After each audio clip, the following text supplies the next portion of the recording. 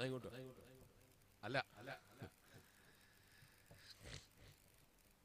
ബഹുമാനപ്പെട്ട നബി ഇബ്രാഹിം അലൈഹിസ്സലാം പറയാണ്. ഇബ്രാഹിം നബി അലൈഹിസ്സലാം എങ്ങനെയാണ്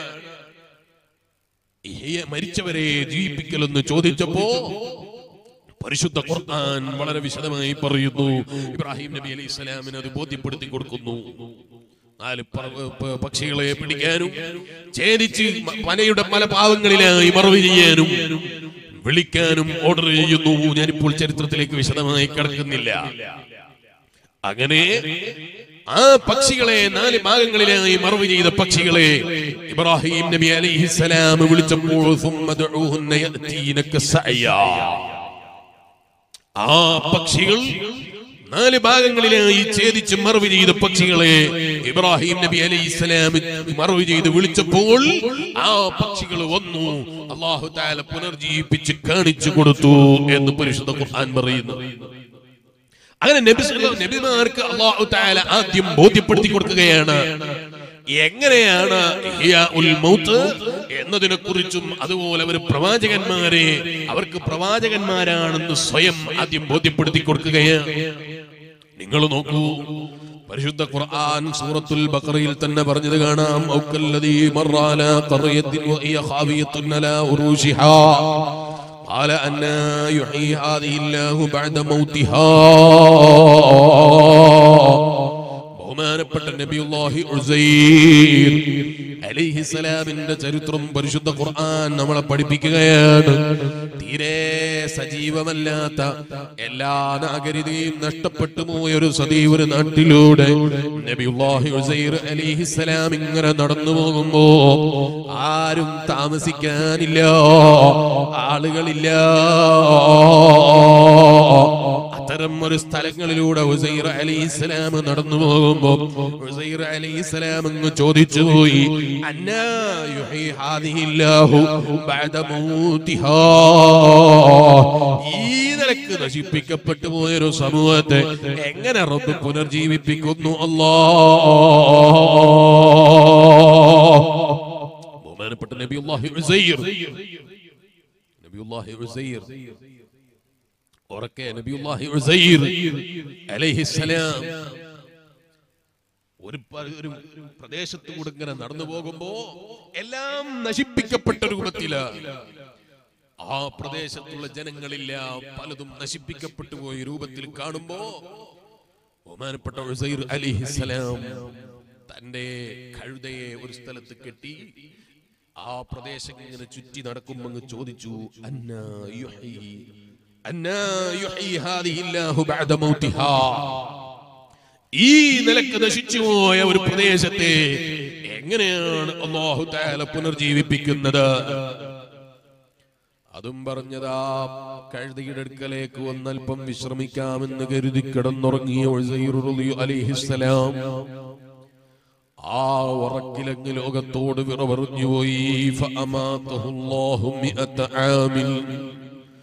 നൂറ് കൊല്ലത്തേക്കങ്ങ് വിട പറഞ്ഞു പോയി. നൂറ് കൊല്ലം അവിടെ അങ്ങ് കിടത്തി. ശരീരത്തിന് ഒരു കേടുപാടും പറ്റിയില്ല.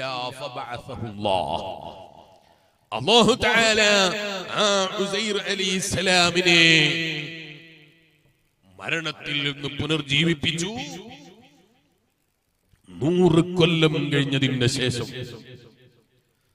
ആ ഉസൈർ അലൈഹിസ്സലാം ഒരു ശബ്ദം കേൾക്കുന്നു കാലക്കം ലഭിസ്ത എത്ര കൊല്ലമായി കിടന്നുറങ്ങിയിട്ട് മരിച്ചിട്ട് എത്ര കൊല്ലമായി قال لبثت يوما او بعض يوم ഒരു ദിവസം അല്ലെങ്കിൽ ഒരു ദിവസത്തിന്റെ ഒരു ഭാഗം ഞാൻ അതേ വിശ്രമിച്ചിട്ടുണ്ട് എന്നാണ് ബഹുമാനപ്പെട്ട നബിയുല്ലാഹി ഉസൈർ അലിഹിസലാമിന്റെ മറുപടി. എത്ര കൊല്ലാ കിടന്നത്? നൂറ് കൊല്ലം അവിടെ ആ കിടന്ന ഉറക്കിൽ തന്നെ വഫാത്ത് അങ്ങ് കിടന്നു. ബഹുമാനപ്പെട്ട നബിയുല്ലാഹി ഉസൈർ അലിഹിസ്സലാം നൂറ് കൊല്ലം കഴിഞ്ഞ് പുനർജീവിപ്പിച്ചിട്ട് ചോദിക്കാണ് അലക്കം ലഭിച്ച എത്ര കൊല്ലായി? ലഭിച്ചു യൗമൻ ഒരു ദിവസം. അല്ലെങ്കിൽ കുറഞ്ഞ സമയം ഒരു ദിവസത്തിന്റെ തിരിച്ചല ഭാഗം ഞാൻ ഇവിടെ കിടന്നിട്ടുണ്ട്.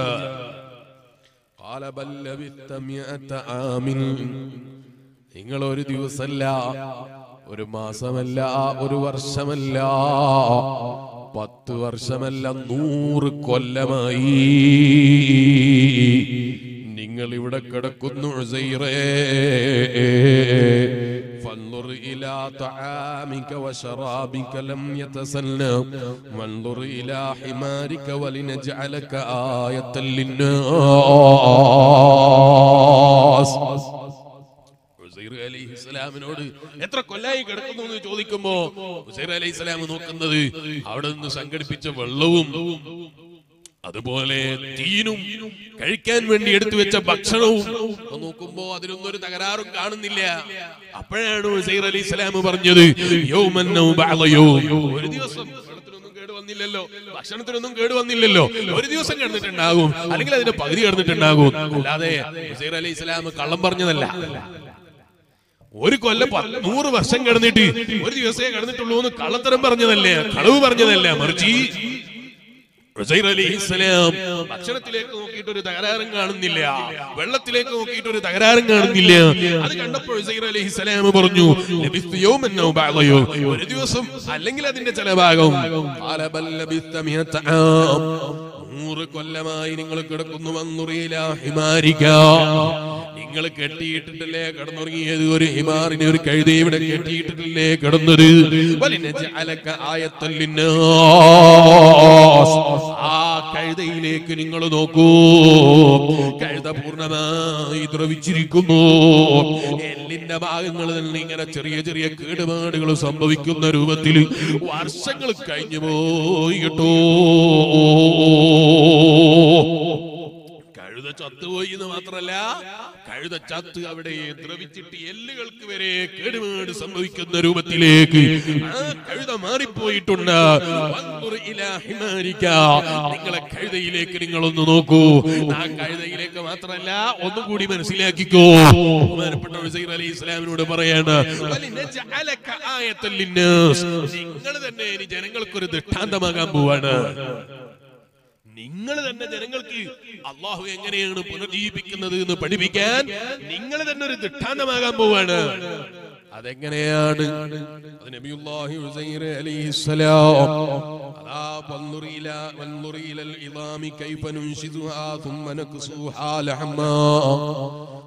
പറയാണ് നിങ്ങൾ നോക്കിക്കോ. ആ കഴുതയെ എങ്ങനെയാണ് നമ്മൾ ഇതിന്റെ എല്ലുകളെ കൊർപ്പിച്ച് കൂട്ടിയിണക്കുന്നത് എങ്ങനെയാണ്? അതിലേക്ക് മാംസങ്ങൾ കൂടിച്ചേരുന്നത് എങ്ങനെയാണ്? തൊലികളെ ഉറപ്പിക്കുന്നത് എങ്ങനെയാണ്? നിങ്ങൾ ശരിക്കും നോക്കിക്കോ. അലൈഹിസ്സലാം നോക്കുമ്പോൾ ആ എല്ലുകൾ ഇങ്ങനെ ദ്രവിച്ചു തുടങ്ങിയ എല്ലുകൾ ഇങ്ങനെ കൂടിച്ചേരുകയാണ്. അതിലേക്ക് മാംസങ്ങൾ ഇങ്ങനെ മുളച്ചു വരികയാണ്. അതിലേക്ക് തൊലികൾ ഇങ്ങനെ പുതുതായി ഉണ്ടാകുകയാണ്. ഇതങ്ങ് കണ്ടപ്പോ അത്ഭുതപ്പെട്ടു പോയി. ആ നിലയ്ക്ക് അള്ളാഹ് അങ്ങ് ബോധ്യപ്പെടുത്തി കൊടുത്തു. ഫലം തബയ്യന ലഹു. ഖാല അഅലമു അന്ന അലാ കുല്ലി ഷൈഇൻ ഖദീർ. അങ്ങ് ബോധ്യപ്പെടുത്തി കൊടുത്തപ്പോൾ ബഹുമാനപ്പെട്ട നബിയുല്ലാഹി ഉസൈർ അലൈഹിസ്സലാം പറയാണ് വെറും പുനർജീവിപ്പിക്കാൻ മാത്രമല്ല എല്ലാറ്റിനും കഴിവുള്ളവനാണ് എല്ലാറ്റിനും കഴിവുള്ള കാതിറാണ് എന്റെ റബ്ബ് തആല എന്നാ ഖുർആൻ എന്താ പറഞ്ഞത്? നിങ്ങൾ തന്നെ ജനങ്ങൾക്ക് ഒരു ദൃഷ്ടാന്താകാൻ പോവാണ് ഞാൻ പറഞ്ഞത്. അതെങ്ങനെയാ? അലൈഹിസ്സലാം അവിടുന്ന് എഴുന്നേറ്റു. കഴുതയുമായി പോയി വീട്ടിലേക്ക് പോയി.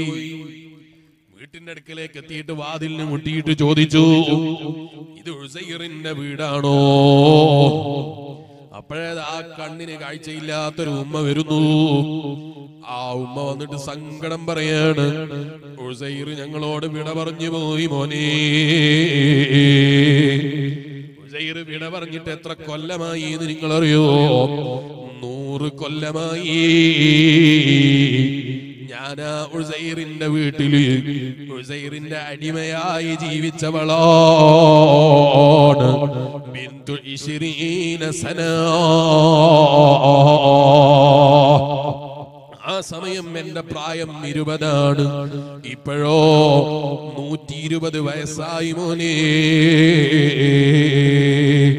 ഇത് പറഞ്ഞിട്ട് ആ ഉമ്മ ഉസൈറിനെ ഞങ്ങൾക്ക് നഷ്ടപ്പെട്ടിട്ട് നൂറ് കൊല്ലമായി ഇമാം ആയത്തിന്റെ തഫ്സീറിൽ പറയാണ്? നൂറ് കൊല്ലമായി ഞങ്ങൾക്ക് ഉസൈറിനെ നഷ്ടപ്പെട്ടിട്ട്. ഞങ്ങൾക്ക് ആ ഉസൈറിന്റെ നഷ്ടം സഹിക്കാൻ കഴിയുന്നില്ല. അപ്പോഴാണ് ഉസൈർ മറുപടി. അന ഉസൈർ ഞാനാ ഉസൈറാണ്. നിങ്ങൾ പറയുന്ന ഉസൈറാണ് ഞാൻ. അപ്പോഴല്ലേ ഉമ്മാന്റെ ചോദ്യം? അല്ല മോനെ നൂറ് കൊല്ലം മുമ്പ് നഷ്ടപ്പെട്ട ഉസൈർ നീയോ? അതെങ്ങനെ? നൂറ് കൊല്ലം മുമ്പല്ലേ ഉസൈർ ഞങ്ങളോട് വിട പറഞ്ഞത്. ആ ഉസൈർ എങ്ങനെയാണ് നിങ്ങളാകുന്നത്? സുമ്മ ഞാനിങ്ങനെ ഒരു കറിയയിലൂടെ നടക്കുമ്പോ എല്ലാം നശിപ്പിക്കപ്പെട്ടത് കണ്ടപ്പോ ഒരു കോപ്പ വെള്ളവും കുറച്ച് ഭക്ഷണവുമായി എന്റെ കഥയെ കഴുതയുമായി പോകുന്ന സമയത്ത് ആ സതിയെ ഒന്നുമില്ലാത്ത പ്രദേശം കണ്ടപ്പോ ഞാനങ്ങ് ചോദിച്ചു പോയി. ഈ ഒന്നുമില്ലാത്ത പ്രദേശത്തെ റബ്ബെങ്ങനെ പുനർജീവിപ്പിക്കും? അത് കഴിഞ്ഞ് കിടന്നുറങ്ങിയതാണ്. പിന്നെ എന്നെ നൂറ് കൊല്ലം കഴിഞ്ഞിട്ടാണ് റബ്ബ് പുനർജീവിപ്പിക്കുന്നത്. നൂറ് കൊല്ലമെന്ന് കഴിഞ്ഞുപോയി കഴിഞ്ഞു പോയി. അപ്പോഴാണ് ആ ഉമ്മാന്റെ മറുപടി. ഞാനിത് വിശ്വസിക്കണമെങ്കിൽ കുറച്ച് പണിയാണ്. ഞാനിത് വിശ്വസിക്കണമെങ്കിൽ കുറച്ച് പണിയാണ്. എന്താണ് പണി? ഉസൈറിനൊരു സ്വഭാവമുണ്ട് ഉസൈറിനൊരു പ്രത്യേകതയുണ്ട്. റബ്ബിനോട് പ്രാർത്ഥിച്ചാൽ രോഗികൾക്ക് ശമനത്തിന് വേണ്ടി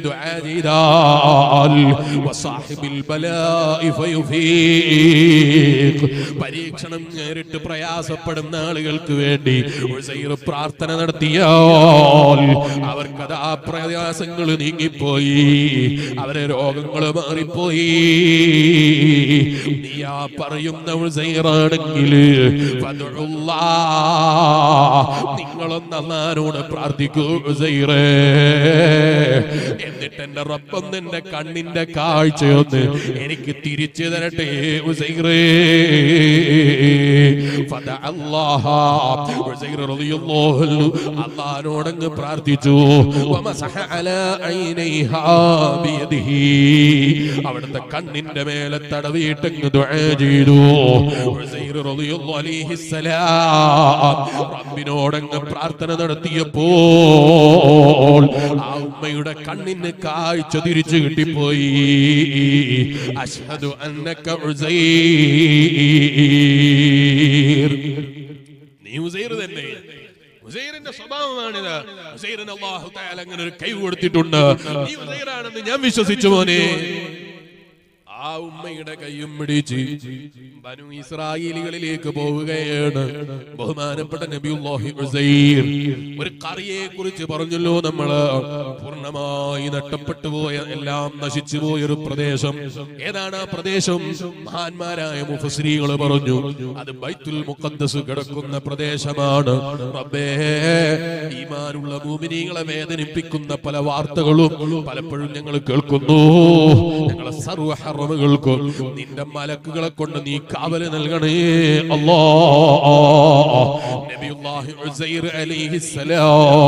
ആ ഉമ്മയുടെ കൈയും പിടിച്ചങ്ങ് നീങ്ങി. എന്നിട്ടൊരു കുട്ടിയുടെ അടുക്കലേക്ക് ചെന്നു. ഒരാളടുക്കലേക്ക് ചെന്നു. അതാരാണ്? ഇസ്ലാമിന്റെ മോന. അലൈഹി ഇസ്ലാമിന്റെ മോനടുക്കലേക്ക് ചെന്നു.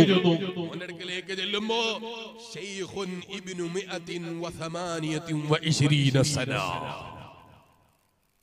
എത്ര വയസ്സ്? നൂറ്റി ഇരുപത്തിയെട്ട് വയസ്സുള്ള മകൻ. ബാപ്പാക്കോ വാപ്പ അൻപത് വയസ്സുള്ളപ്പോഴാണ് അന്ന് പുനർജീവിപ്പിക്കുന്നതിന്റെ മുമ്പ് ബഹുമാനപ്പെട്ട നബി ഹുസൈർ അലി ഇസ്ലാം മരിച്ചുപോയത്. അൻപത് വയസ്സാണെന്നാണ് എന്റെ ഓർമ്മ. ആ ഹുസൈർ അലി ഇസ്ലാം മോന്റെ അടുക്കലേക്ക് കയറി ചെല്ലുമ്പോ മകന്റെ പ്രായം എത്രയാണ്? നൂറ്റി ഇരുപത്തിയൊമ്പത്. ബാപ്പാനേക്കാളും പ്രായമുള്ള മോന്. ബാപ്പാനേക്കാളും പ്രായമുള്ള മോന് ആ മകന്റെ അടുക്കലേക്കാണ് നബിയുല്ലാഹി ഹുസൈർ അലൈഹിസ്സലാമിന്റെ കൈയും പിടിച്ച് ചെല്ലുന്നത്. എന്നിട്ട് ആ ഉമ്മ പറഞ്ഞു യാ ഖൗം ഹാദാ വല്ലാഹി ഉസൈർ. നൂറ് കൊല്ലം മുമ്പ് നമ്മൾക്ക് നഷ്ടപ്പെട്ടു പോയി എന്ന് നമ്മൾ വിശ്വസിക്കുന്ന നൂറ് കൊല്ലം മുമ്പ് തൗറാത്ത് മനപ്പാടമുള്ള ആലിമീങ്ങളൊക്കെ കൊല ചെയ്തു കളഞ്ഞൊരു ധിക്കാരിയായ ഭരണാധികാരി ഉണ്ടായിരുന്നു. ആ ഭരണാധികാരിയുടെ കൈകളാൽ സ്വലാം കൊല ചെയ്യപ്പെട്ടു പോയി എന്നാണ് അവർ വിശ്വസിക്കുന്നത്. എന്നാൽ ഉസൈറോ കൊല ചെയ്യപ്പെട്ടു പോയിട്ടില്ല. അന്ന് ജീവിച്ചിരുന്ന ഒരു ധിക്കാരിയായ ഭരണാധികാരി അലി പോലെയുള്ള ഒരുപാട് പണ്ഡിതന്മാർ തൗറാത്തിൽ നല്ല വിവരമുള്ള മനപ്പാടമുള്ള ഹാഫിലീങ്ങളെ അന്ന് കൊല ചെയ്തു കളഞ്ഞിരുന്നു. ഇവരെ കാണാതെ വന്നപ്പോ അലി അത് ആ കൂട്ടത്തിൽ വഫാത്തായവരെ കൂട്ടത്തിൽ ഷഹീദായവരുടെ കൂട്ടത്തിലാണെന്ന് വിശ്വസിച്ചു.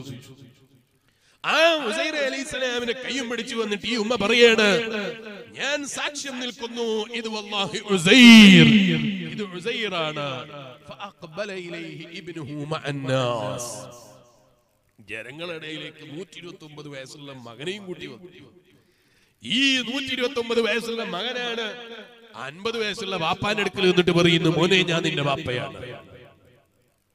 അൻപത് വയസ്സുള്ള പ്രായം ബാപ്പ നൂറ്റി ഇരുപത്തി ഒമ്പത് വയസ്സുള്ള മോനോട് പറയാണ് എന്റെ ബാപ്പയാണ് ഞാൻ. ജനങ്ങൾക്ക് അല്ലാഹു തആല വലിയ ദൃഷ്ടാന്തമായി നബിയുല്ലാഹി ഉസൈർ അലൈഹി ഖുർആൻ പറയുന്നു. നൂറ്റി ഇരുപത്തി ഒമ്പത് വയസ്സുള്ള മകനോട് പറഞ്ഞപ്പോ ആ മകന്റെ മറുപടി കാനത്തിൽ അബീശാമത്തുൻ സൗദാ മിസ്ലുൽ ഹിലാൽ. എന്റെ മാപ്പയാണെന്ന് ഞാൻ വിശ്വസിക്കണമെങ്കിൽ എന്റെ മാപ്പന്റെ പുറംഭാഗത്ത് ഒരു ചെറിയ ചന്ദ്രക്കല പോലെ ഉള്ള ഒരു മറുണ്ടായിരുന്നു ഇവിടെ എന്താ പറയാ? ഈ കറുത്ത കുത്തി ശരീരത്തിലൊക്കെ മറു മറു തന്നെ പറയാ. അടയാളത്തിന് വേണ്ടി പലപ്പോഴും സർട്ടിഫിക്കറ്റിലൊക്കെ എഴുതി കൊടുക്കലില്ലേ? ഒരു മറു ഇവിടെ മറുണ്ട് ഇവിടെ മറുണ്ട് എന്നൊക്കെ ചെറുപ്പത്തിൽ സ്കൂളിൽ പഠിക്കുന്ന കാലത്ത് എഴുതി കൊടുത്തത് ഓർമ്മയുണ്ട്. ബഹുമാനപ്പെട്ട നബിയുല്ലാഹി അലൈഹിസ്സലാമിന്റെ ശരീരത്തിൽ ഒരു ചന്ദ്രക്കല പോലെയുള്ള ഒരു അടയാളമുണ്ട്. എനിക്കതൊന്ന് കാണണം. അതങ്ങ് കാണിച്ചു കൊടുത്തപ്പോ നോക്കിയപ്പതാ ബഹുമാനപ്പെട്ട നബിയുല്ലാഹി ഉസൈർ അലൈഹിസ്സലാമിന്റെ തോളിന്റെ ഭാഗത്ത് ആ അടയാളം കിടക്കുന്നു. മകനും പറഞ്ഞു "ഈ അശ്ഹദു അന്നക ഉസൈർ. നിങ്ങൾ തന്നെ. ജനങ്ങളോട് ആയത്തായിട്ട് പറയണം ഉസൈർ അലി ഇസ്ലാമിന് ഇത് ഞങ്ങളെ ബാപ്പയാണ്. നൂറ്റി ഇരുപത്തി ഒമ്പത് വയസ്സുള്ള മകൻ പറയണം അമ്പത് വയസ്സുള്ള ബാപ്പ എൻ ആൻ പറഞ്ഞല്ലോ. ആ ഉസൈർ അലി ഇസ്ലാമിനെ കൂട്ടി ആളുകൾ അടുക്കലേക്ക് ചെന്നു. ആളുകൾ അടുക്കലേക്ക് ചെന്നിട്ട് വിഷയം പറഞ്ഞു. ആളുകൾ പറഞ്ഞു ഇതെങ്ങനെ വിശ്വസിക്കും? ബാപ്പാനെക്കാളും പ്രായ മകനെക്കാളും പ്രായ മകൻ ബാപ്പാനേക്കാൾ കൂടുതൽ പ്രായമുള്ള ആളായി മാറി. ഇനി എങ്ങനെ ഇത് ഉസൈറാണെന്ന് വിശ്വസിക്കും?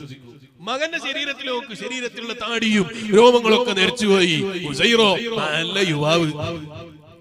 ഇതെങ്ങനെ വിശ്വസിക്കും? അപ്പോഴാണ് പ്രായം ചെന്നൊരു ഉമ്മ പറയുന്നത്. മരണപ്പെട്ടു എന്ന് പറയുന്നത് ഒരു യുദ്ധത്തിലാണ്. അങ്ങനെയാണ് പലരും വിശ്വസിക്കുന്നത്. കാരണം ഉസൈറിനെ കാണാതെ പോയത് ആ സമയത്താണ്. ഒരുപാട് അലിമീങ്ങളെ തൗറാത്ത് മനപ്പാടമുള്ള ഒരുപാട് ആളുകളെ ഒരു സ്ഥലത്ത് പ്രത്യേകമായി ഒരു സ്ഥലത്ത് അതേ കുഴിച്ചിട്ട് അതേ കുഴിച്ച് മണ്ണ് കോരിയെടുത്തിട്ട് തൗറാത്ത് മറ പാടമായിരുന്നു പറയുന്ന ഉസൈറാണെങ്കിൽ തൗറാത്തൊന്ന് കാണാതെ വായിക്കട്ടെ. കുഴിച്ചിട്ട സ്ഥലത്തും ഞാൻ കാണിച്ചു തരോ. ആ കൊതി കുഴിച്ചിട്ട സ്ഥലത്ത് നിന്ന് തൗറാത്ത് കൊണ്ടുവന്ന് ഉസൈറിനെ ഒന്ന് കാണാതെ വായിപ്പിക്കൂ. ഉസൈറെ കാണാതെ തൗറാത്ത് വായിക്കുന്നുണ്ടെങ്കിൽ ഞാനും വിശ്വസിക്കാം. അന്നക്ക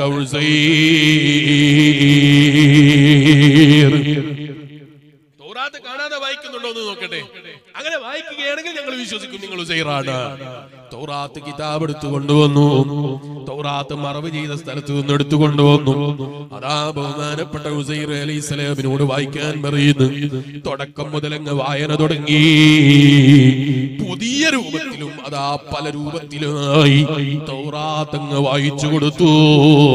നബിയുല്ലാഹി ഉസൈർ. ആ തൗറാത്ത് മുഴുവനും അങ്ങ് വായിച്ചു കഴിഞ്ഞപ്പോ ചിലര് പറഞ്ഞു അഷ്ഹദു അന്നക നബിയുല്ലാഹി ഉസൈർ വിവരമില്ലാത്ത ചിലര് പറഞ്ഞു കളഞ്ഞു. അതേ അന്നക ഇബ്നുല്ലാഹി ഉസൈർ. അള്ളാന്റെ മോനായ ഉസൈർ ആണ് നിങ്ങൾ കേട്ടോ. ഉസൈർ അലൈഹി സ്വലാമിന്റെ അള്ളാന്റെ മോനാണെന്ന് പറഞ്ഞു കളഞ്ഞു. ഖുൽ ഹുവല്ലാഹു അഹദ്. അല്ലാഹു സമദ്. ലം യലിദ് വലം യൂലദ്. വലം യകുൽ ലഹു കുഫുവൻ അഹദ് ലോക സിട്ടാവായ റബ്ബിയേകനാണ്. അവൻ പ്രസവിക്കുന്നവനല്ല. അവൻ പ്രസവിക്കപ്പെട്ടവനുമല്ല. അവന് മകനുണ്ടെന്ന് പറയാൻ പാടില്ല. അവൻ ബാപ്പയാണെന്ന് പറയാൻ പാടില്ല. ഇത് തന്നെയല്ലേ സുന്നത്തിയമാഴത്തിന്റെ വിശ്വാസം. ആ വിശ്വാസത്തിൽ അടിയുറച്ച് ജീവിക്കുന്നവൻ അവൻ മാത്രമാണ് ഈമാനോടെ ജീവിച്ച് മരിക്കുന്നവൻ കേട്ടോ. അതുകൊണ്ടാണ് ബഹുമാനപ്പെട്ട ഇമാമനൽ ഗസാലി റളിയല്ലാഹു നഷ്ടപ്പെട്ടു പോകുന്ന രണ്ട് കൂട്ടം ആളുകളെ പരിചയപ്പെടുത്തി. അതിലൊന്നാരാൻ ഇമാം ഗസാലി റളിയല്ലാഹു അൻഹു പറയുന്നു അവൻ ഇബാദത്ത് എടുക്കുന്ന വിഷയത്തിൽ നോക്കിയാൽ നല്ല സന്തുഷ്ടവാനാണ്. ഇബാദത്ത് കണ്ടാൽ എന്തൊരു സുഹൃതാണ് അതെന്റെ വസ്ത്രധാരണ കണ്ടാൽ എന്തൊരു നല്ല വസ്ത്രധാരണയാണ്.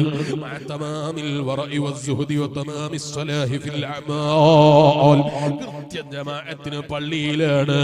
വസ്ത്രധാരണ നോക്കിയാൽ ഞെരിയാണിക്ക് താഴോട്ടേക്ക് പോകരുത് വസ്ത്രം എന്നാ പറഞ്ഞത്. അവന്റെ വസ്ത്രം നോക്കിയാലോ?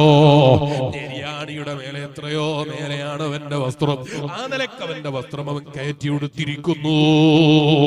എന്തൊരു നല്ല സുഹൃതാണ്. പക്ഷേ അവന്റെ കാര്യത്തെ കുറിച്ചറിയോ? അവന്റെ പര്യവസാനം വളരെ മോശമാണ് ജനങ്ങളെ. ഞാൻ പറഞ്ഞതല്ല ബഹുമാനപ്പെട്ട ഇമാം ഗസാലി റളിയല്ലാഹു അൻഹു പറയാണ് വഇൻ കാനത്തു അഅമാലുഹു സാലിഹാ. അവൻ നല്ല തസ്കതയെ സൽക്കർമ്മങ്ങൾ പ്രത്യക്ഷത്തിൽ നോക്കിയാൽ ചെയ്യുന്നവനാണ്. നിസ്കാരത്തിന് പള്ളിയിലുണ്ട് സദക്ക ചെയ്യുന്നതിന് മുൻപന്തിയിലാണ്. എന്തൊരു നല്ല സൽസ്വഭാവമാണ്. എല്ലാരോടും ചിരിച്ചിട്ടാണ് അവന്റെ പെരുമാറ്റം പക്ഷേ അവനിക്ക് വലിയൊരു തെറ്റ് സംഭവിച്ചു പോയി അവന്റെ ഹൃദയത്തിന് വിദഗ്ധാകുന്ന രോഗം പിടികൂടി പോയി أيعتقد الرجل في ذات الله وصفاته وأفعاله خلاف الحق എത്ര നിസ്കരിച്ചിട്ടെന്താ കാര്യം? അള്ളാഹുവിനുള്ള വിശ്വാസം തന്നെ പൂർണമായിട്ടില്ല. അവൻ അള്ളാഹ്ക്ക് കൈയുണ്ട് എന്ന് പറയുന്നു. അള്ളാഹ്ക്ക് കാലുണ്ട് എന്ന് പറയുന്നു. അള്ളാഹുവിന്റെ മുഖം എന്ന് പറയുന്നു. അള്ളാഹുവിന്റെ സിഫത്തുകളെ പോലും തെറ്റിദ്ധരിപ്പിക്കുന്ന രൂപത്തിൽ അള്ളാഹുവിനെ തന്നെ തീരുമാനമാകാത്ത രൂപത്തിൽ അവൻ അതപ്പതിച്ചു പോയിരിക്കുന്നു. പിന്നെ അവൻ എത്ര നിസ്കരിച്ചിട്ട് എന്താ കാര്യം? ഇമാം ഗസാലി റളിയല്ലാഹു അൻഹു പറയുന്നു അവന്റെ ആക്കിബത്തിന്റെ കാര്യം വലിയ ബേജാറാണ് കേട്ടോ.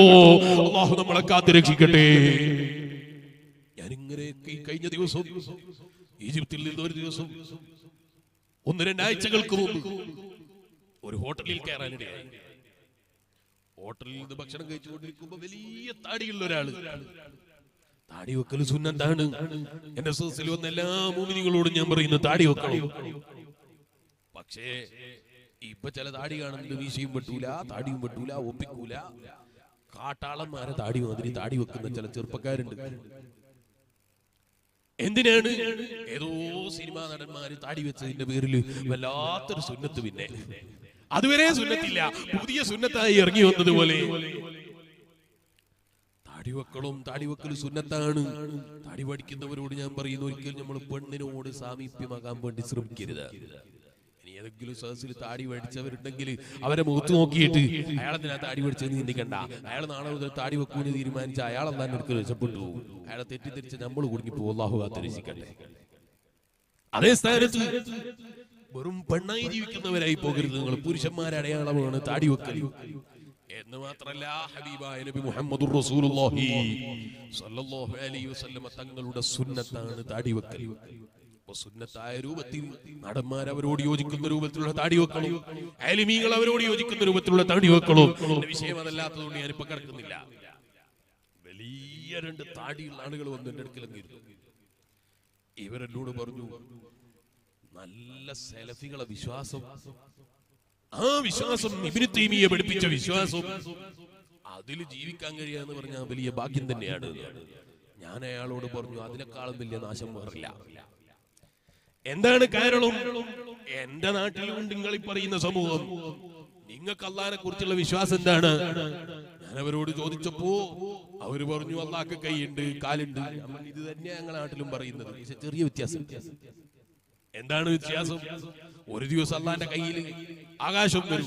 ഒരു ഒരു ദിവസം വലത്തെ കയ്യിൽ കൈ ഉണ്ടാകും അടുത്ത ഭാഗത്ത് കൈ ഉണ്ടാകൂല. കുറച്ച് ദിവസം കഴിയുമ്പോൾ എടുത്തു കൈ വരും വലത്തെ ഭാഗത്ത് കൈ ഉണ്ടാകൂല. ഒരു നിലക്കും തീരുമാനാകാത്ത അള്ളാന്റെ കൈയും കൊണ്ട് അവർ എന്നിട്ടാണ് ഞങ്ങളുടെ നാട്ടിൽ. നിങ്ങൾ ഈ പറയുന്ന സെലഫികൾ നിങ്ങളുടെ നാട്ടിൽ എന്താ അവസ്ഥ എന്ന് ചോദിച്ചു ഞാൻ ഇവരോട്. അപ്പൊ അവർ പറഞ്ഞു അങ്ങനെ പറയുന്നുണ്ടോ നിങ്ങളെ നാട്ടിൽ ഞാൻ പറഞ്ഞു അവിടുന്ന് വിട്ട് നിങ്ങൾ കർണാടകയിലേക്ക് പോകും. അവിടെയുള്ള പുത്തന്മാദികളോട് വിദേഹത്തിന്റെ ആളുകളോട് ചോദിച്ചു നോക്ക്. അവരല്ലാക്ക് വേറെ അല്ലയാണ് നമ്മൾ പറയുന്ന അല്ല അവരല്ല. എന്നാ പിന്നെ ആ ഇന്ത്യ വിട്ട് പുറത്തു പോയാലോ? ഓരോരുത്തർക്കും പറയാനുള്ള അള്ള വ്യത്യസ്തമായ അള്ളയാണ്. എല്ലാരും ഇതുവരെ ഒരുത്തിലെത്തിയിട്ടില്ല എന്നാ ഞങ്ങളോ ഞങ്ങൾ അശ്വരി ത്വരീക്കത്തിന്റെ ആളുകളാണ്. ഞങ്ങൾക്ക് അശ്വരി ഇമാമറിയുള്ളോ എന്ന് പഠിപ്പിച്ചു തന്ന തുരീക്കത്തുണ്ട് ഞങ്ങൾ ആ സിഫത്തുകളിൽ ഉറച്ചു വിശ്വസിക്കുന്നു. അത് കേരളത്തിലാകട്ടെ കർണാടകയിലാകട്ടെ തമിഴ്നാട്ടിലാകട്ടെ ഇന്ത്യ വിട്ടിട്ട് ഈജിപ്തിലാകട്ടെ അല്ല അമേരിക്കയിലാകട്ടെ. എന്റെ കൂടെ എന്റെ ക്ലാസ്സിൽ തന്നെ പഠിക്കുന്ന അമേരിക്കക്കാരുണ്ട്. ഞാൻ അയാളോട് പറഞ്ഞു ഞങ്ങളെ കൂടെ ഉണ്ടായിരുന്ന അമേരിക്കയിലെ വിദ്യാർത്ഥികളുണ്ട്. അവരും അശരീ ത്വരീക്കത്തിന്റെ ആളുകളാണ്. അവർ ഞങ്ങൾ വിശ്വസിക്കുന്നത് തന്നെ വിശ്വസിക്കുന്നു ഒരു വ്യത്യാസവുമില്ല. നമ്മൾ കാണാത്ത ഹദീസുകളും നമ്മൾ മനസ്സിലാക്കിയതിനേക്കാൾ കൂടുതൽ മനസ്സിലാക്കുകയും ചെയ്ത അവിടുത്തെ അതേ ത്വരീഖത്ത് ക്രോഡീകരിക്കുകയും ചെയ്ത നമ്മുടെ മുൻഗാമികളായ മഹാന്മാരായ പണ്ഡിതന്മാർ അവർ പഠിപ്പിച്ചതിൽ നിന്ന് വ്യതിചലിച്ച് ഞങ്ങൾ ഖുർആൻ നോക്കിയിട്ട് കണ്ടുപിടിക്കൂന്ന് തീരുമാനിച്ചിറങ്ങിയവര് ഇന്ന് വരെ ഒരു വഴിയിലും എത്തിയിട്ടില്ല. ഓരോ നാട്ടുകാർക്ക് ഓരോ അള്ളയാണ്. ഞങ്ങളെ നാട്ടിലുണ്ട് അങ്ങനത്തെ ഒരു കൂട്ടം ആളുകൾ. അവരെ അല്ല എന്ന് പറഞ്ഞാൽ കാണുന്നതൊക്കെ അള്ളയാണ്. അക്കൂട്ടരാണ് സലഫികൾ കേട്ടോ. ഇത് പറഞ്ഞപ്പോ ഇയാൾ എന്നോട് പറഞ്ഞു അശ്വരി കുറിച്ച് പഠിക്കാൻ എന്താ വഴി? ഞാൻ പറഞ്ഞു അസീറിൽ വന്ന് ഞങ്ങളെ കൂടെ പഠിച്ചോ എന്നാ ചിലപ്പോ പഠിക്കാൻ കഴിഞ്ഞേക്കും. അല്ലെങ്കിൽ ഞങ്ങൾ ഉസ്താദിമാരോട് ചോദിച്ചോ അവർ പറഞ്ഞു തരും. അതേ ഞാനിപ്പോ അതിലേക്ക് വിശദമായി കിടക്കുന്നില്ല പറഞ്ഞു വന്നത് ഇത് തന്നെയാണ് വിദേഹത്തിന്റെ കക്ഷികളുടെ മുഴുവൻ ആളുകളുടെയും അവസ്ഥ. അവർ ഇതുവരെ വിശ്വാസത്തിൽ തീരുമാനത്തിലെത്തിയിട്ടില്ല. അള്ളാഹുവിന്റെ കാര്യത്തിൽ തന്നെ തീരുമാനത്തിലെത്തിയിട്ടില്ല. ഇന്നലെയും പറഞ്ഞതല്ല. ബഹുമാനപ്പെട്ട ഇതാ ഇതേ ബഹുമാനപ്പെട്ട ഇമാം അബൂ ഹാമിദുൽ ഗസാലി റളിയല്ലാഹു അൻഹു പറയാണ് അവരെ കണ്ടാൽ എന്തൊരു സുഹദാണ് എന്തൊരു വറാണ് എന്തൊരു നന്മ ഉദ്ദേശിക്കുന്നവരാണ്. ആളെ ആളുകളെ കുറിച്ച് ബഹുമാനപ്പെട്ട ഇമാം ഗസാലി റളിയല്ലാഹു അൻഹു പറയാണ് അവരെ ആക്കിബത്തിന്റെ കാര്യം വലിയ ബേജാറാണ് കേട്ടോ. എന്താണ് കാരണമെന്നല്ലേ?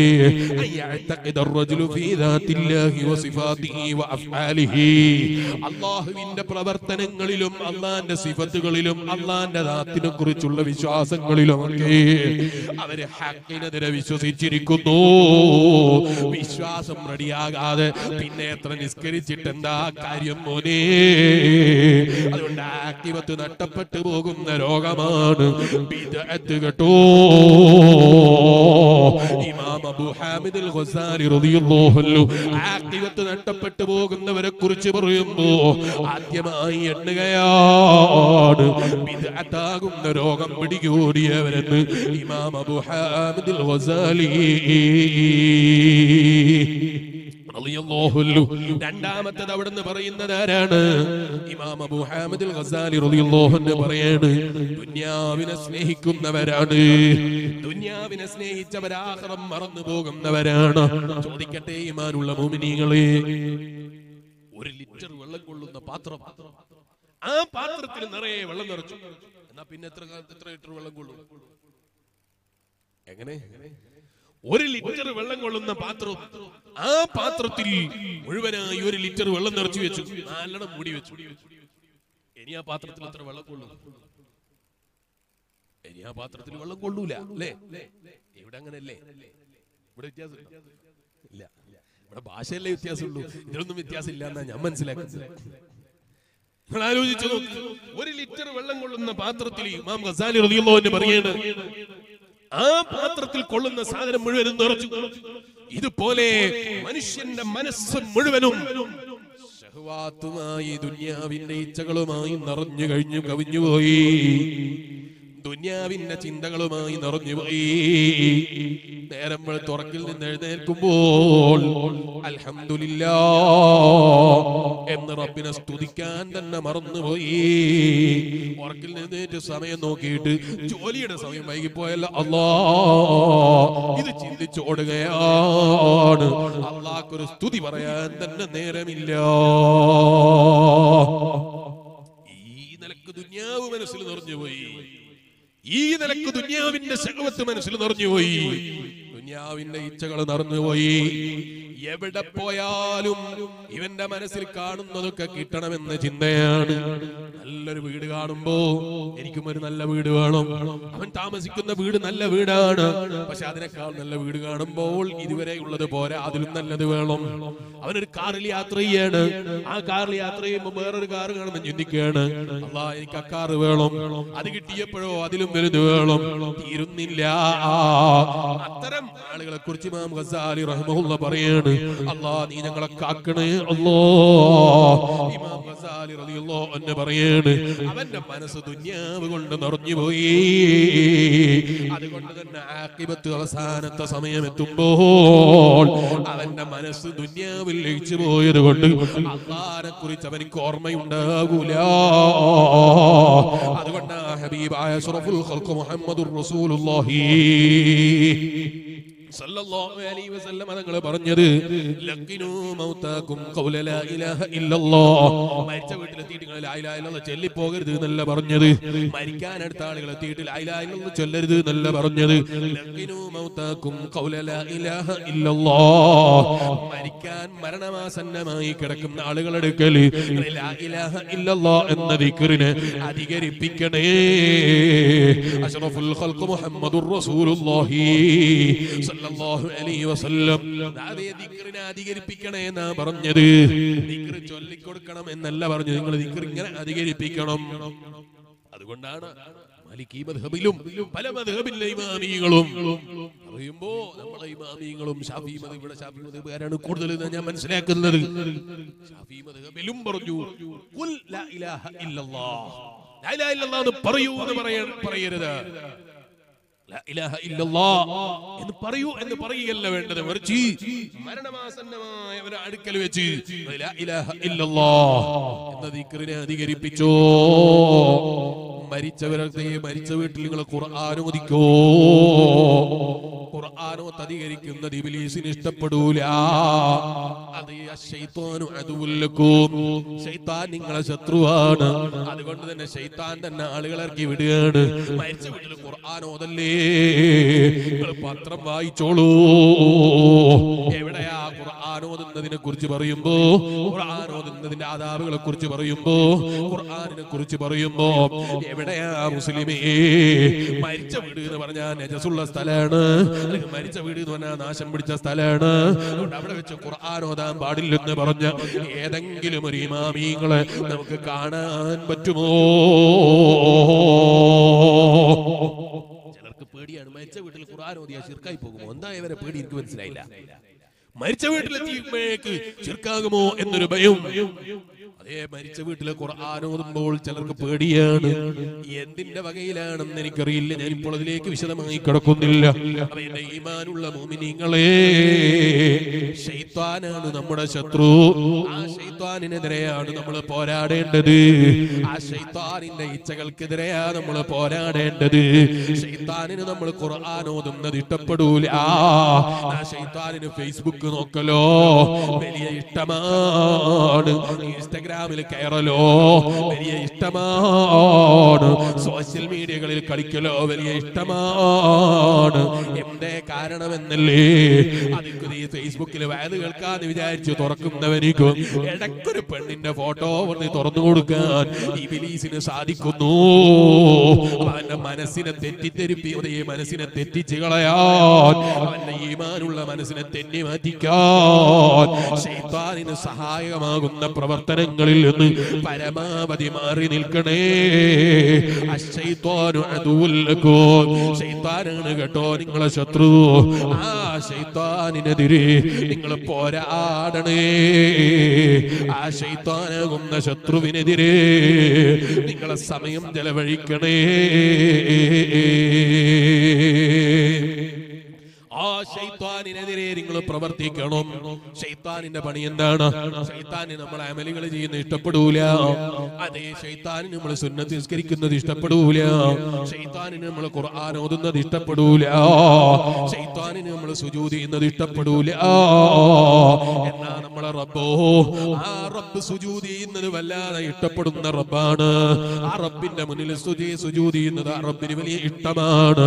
അതുകൊണ്ടല്ലേ പരിശുദ്ധ ഖുർആൻ ഹബീബ് നബിതങ്ങളെ അനുയായികളെ കുറിച്ച് പറയുമ്പോ മുഹമ്മദുർ റസൂലുള്ളാഹ് വല്ലദീന മഅഹു അശിദ്ദാഉ അലൽ കുഫാരി റഹമാഉ ബൈനഹും തറാഹും റുക്അൻ സുജ്ജദൻ പരിശുദ്ധ ഖുർആൻ പറയുകയാണ് ആ ഹബീബായ നബിതങ്ങളെയും അവിടുത്തെ അനുയായികളെയും നിങ്ങൾക്ക് കാണാം റുക്അൻ സുജ്ജദൻ യബ്തഗൂന ഫളലം മിനല്ലാഹി വറിദ്വാന സീമാഹും ഫീ വജൂഹിം മിൻ അസരി സുജൂദ്. മടിയില്ല. അവർ തലകുനിക്കാൻ വലിയ താല്പര്യമുള്ളവരാണ്. റബ്ബിന്റെ മുന്നിൽ സുജൂതിയാൻ വലിയ സന്തോഷമുള്ളവരാണ്. അള്ളാന്റെ മുന്നിൽ തലകുനിക്കാൻ വലിയ ഇഷ്ടമുള്ളവരാണ്. പോരാ. അനുയായികളുടെ അടയാളമാണ്. സുജൂതിന്റെ അടയാളം കിട്ടൂ. പരമാവധി സുജൂദ് അധികരിപ്പിക്കാൻ വേണ്ടി നമ്മൾ ശ്രദ്ധിക്കണം. നിങ്ങൾ നോക്കൂ. ബഹുമാനപ്പെട്ട ഇമാം അബൂ ഹുറൈറ റളിയല്ലാഹു അൻഹു ഹബീബായ സല്ലല്ലാഹു അലൈഹി വസല്ലം തങ്ങളെ സഹാബിയാണ്. ഏറ്റവും കൂടുതൽ ഹദീസുകൾ റിപ്പോർട്ട് ചെയ്ത മഹാനാണ്. ആ അബൂ ഹുറൈറ റളിയല്ലാഹു അൻഹു പറയാണ് നബി സല്ലല്ലാഹു അലൈഹി വസല്ലം തങ്ങൾ പറഞ്ഞു അഖറബു മാ യകൂനുൽ അബ്ദു മിർ റബ്ബിഹി വഹുവ സാജിദ്. ഒരടിമ അള്ളയുമായി ഏറ്റവും അടുക്കുന്ന സമയം അള്ളയുമായി ഏറ്റവും കൂടുതൽ അടുക്കാൻ കഴിയുന്ന സമയം അത് സുജൂദ് ചെയ്യുന്ന സമയമാണ്. ആ സുജൂദിൽ നിങ്ങൾ റബ്ബിനോട് ധാരാളം ചോദിച്ചോളൂ. ആ റബ്ബിനോട് നിങ്ങൾ ആക്കിപത്തിനൊന്നാക്കി തരാൻ ചോദിച്ചോളൂ. നല്ല കാര്യങ്ങൾ ചോദിച്ചോളൂ. ബഹുമാനപ്പെട്ട എന്ന് പറയാണ് നിങ്ങൾ പഠിപ്പിച്ചതായി നിങ്ങൾ സുജൂദിനെ അധികരിപ്പിച്ചോ. അത് അള്ളയുമായി എടുക്കാനുള്ള ഏറ്റവും നല്ല വസീലയാണ് അതുകൊണ്ട് നിർത്തിയില്ല. നബി സല്ലല്ലാഹു അലൈഹി വസല്ലം നിങ്ങൾ വീണ്ടും പറയാണ് ദറജാത്ത്. നിങ്ങളെ പദവി റബ്ബിന്റെ അടുക്കൽ വരാൻ സുജൂദ് കാരണമാണ്. ഹസനാത് നിങ്ങളെ നന്മകൾ അധികരിക്കാൻ അത് കാരണമാണ്. നിങ്ങളെ നന്മകൾ പുരോഗമിക്കാൻ അത് നല്ലതാണ്. ജീവിതം തന്നെ നന്നാകാൻ അത് നല്ലതാണ്. അറിഞ്ഞും അറിയാതെയും രഹസ്യ രഹസ്യമായും പരസ്യമായും സംഭവിച്ചു പോയ തെറ്റുകൾ പുറത്തു കിട്ടാൻ അത് നല്ലതാണ്. അതുകൊണ്ടാണ് ബഹുമാനപ്പെട്ട എന്ന് പറയുന്ന തങ്ങൾക്ക് സേവനം ചെയ്യാൻ ഭാഗ്യം ലഭിച്ച മഹാനായ സഹാബി. ആ സൗബാൻ തങ്ങളുടെ അടുക്കലേക്ക് വന്നിട്ട് പറയുന്നു അഖ്ബിർനി ബി അമലിൻ അഅമലുഹു യുദ്ഖിലുനില്ലാഹു ബിൽ ജന്ന.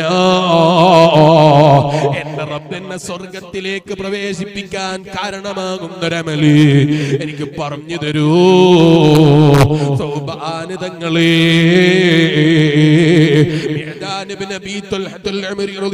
എന്ന് പറഞ്ഞപ്പോ അതെ അവിടുന്ന് വീണ്ടും ചോദിക്കുകയാണ്. അതേ അവിടുന്ന് മിണ്ടുന്നില്ല. സൗഭാനിതങ്ങൾ പ്രതികരിക്കുന്നില്ല. വീണ്ടും ചോദിച്ചു അഹബ്ബുൽ അഅമാലി ഇലല്ലാഹ് ഏതാണ് റബ്ബിന്റെ അടുക്കലേക്ക് ഏറ്റവും ഈ റബ്ബിന്റെ അടുക്കൽ ഏറ്റവും ഇഷ്ടമുള്ള അമൽ ഏതാണ്? എനിക്കൊന്ന് പറഞ്ഞു തരൂ. അഹ്ബിർലി എനിക്കതൊന്ന് പഠിപ്പിച്ചു തരൂ. അതേ സൗപാനിതങ്ങളും ഇണ്ടിയില്ല മൂന്നാമത്തെ പ്രാവശ്യം മൂന്നാമത്തെ പ്രാവശ്യം ഞാനങ്ങ് ചോദിച്ചു. ബഹുമാനപ്പെട്ടവര് പറയാണ് മൂന്നാമത്തെ പ്രാവശ്യം ഞാൻ ചോദിച്ചപ്പോൾ എന്നോട് മറുപടി പറഞ്ഞു അലി അലൈക ബികസറത്തി സുജൂദി ലില്ലാഹ് അല്ലാഹ്ക്ക് ധാരാളം സുജൂദിനെ അധികരിപ്പിച്ചോ? അള്ളാഹുവുമായി ഏറ്റവും അടുക്കാനുള്ള നല്ല വഴിയാണ്. അള്ളയുമായി ഏറ്റവും അടുക്കാനുള്ള വഴിയാണ്. പോരാ സുജൂദിന് മറ്റൊരു പ്രത്യേകത കൂടിയുണ്ട്. സുജൂദ് സബബുൽ ഫൗസി ബിമുറാഫഖത്തിൻ നബി സല്ലല്ലാഹു അലൈഹി വസല്ലം ഫിൽ ജന്ന. സ്വർഗത്തിൽ ഹബീബായ നബി തങ്ങളെ കൂട്ടുകാരനായി എത്തിച്ചേരാൻ സാധിക്കാൻ കാരണമാകുന്ന വലിയ അമലാണ്. സുജൂദ് കേട്ടോ അതുകൊണ്ട് നിങ്ങൾ സുജൂദിനെ അധികരിപ്പിച്ചോ? അതുകൊണ്ടാണ്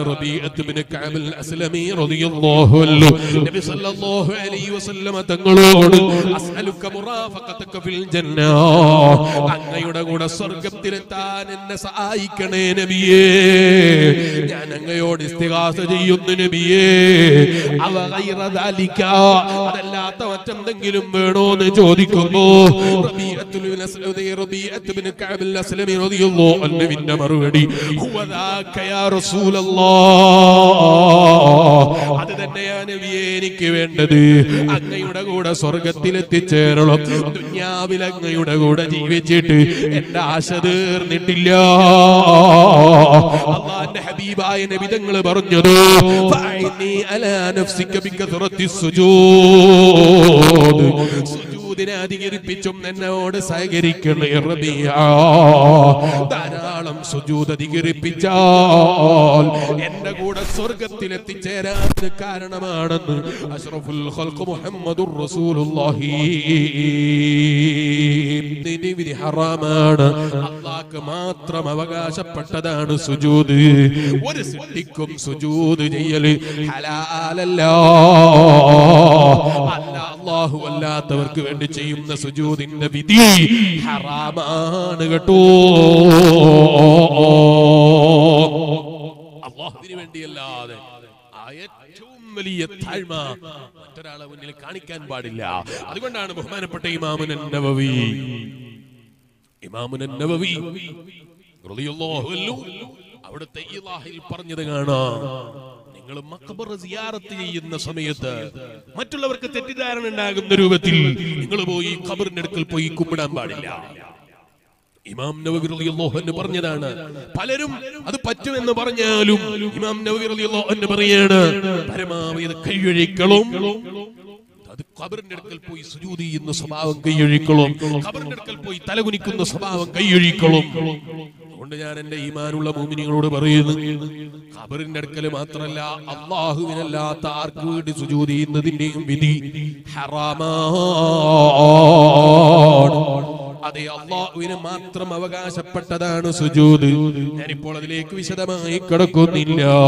പറഞ്ഞു വന്നതിന്റെ ഈമാനുള്ള മുമ്മിനിങ്ങളെ സുജൂദ് സുജൂദിനെ അധികരിപ്പിക്കാൻ വേണ്ടി നമ്മൾ ശ്രദ്ധിക്കണം.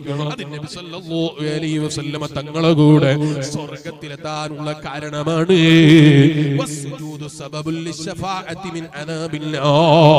അതുകൊണ്ട് മാത്രം തീരൂല. നരകത്തിൽ കടന്നുപോയ ഈമാനുള്ള ആ സുജൂദ് സാക്ഷി നിൽക്കുന്നതാണ് അവരെ നരകത്തിൽ നിന്ന് ഓഹരി മോചിപ്പിക്കാൻ വേണ്ടി. ശഫാഅത്ത് ചെയ്യുന്നതാ അതെ അബൂ ഹുറൈറ റളിയല്ലാഹു അൻഹു തന്നെ പറയുന്ന ഒരു ഹദീസ്. വളരെ നീണ്ട ഹദീസാണ്. ഞാനിപ്പോൾ ഹദീസ് വിശദമായി പറയുന്നില്ല. ബഹുമാനപ്പെട്ടവർ പറയാണ് സുജൂദിന്റെ അടയാളങ്ങളുള്ള ആളുകളോട് ആ സുജൂദിന്റെ അടയാളമുള്ള ഭാഗങ്ങൾ നരകം ഭക്ഷിക്കൂല. നരകത്തിന് ആ സുജൂദിന്റെ അടയാളങ്ങൾ പതിഞ്ഞ ഭാഗങ്ങളെ അല്ല ഹറാമാക്കിയിരിക്കുന്നു.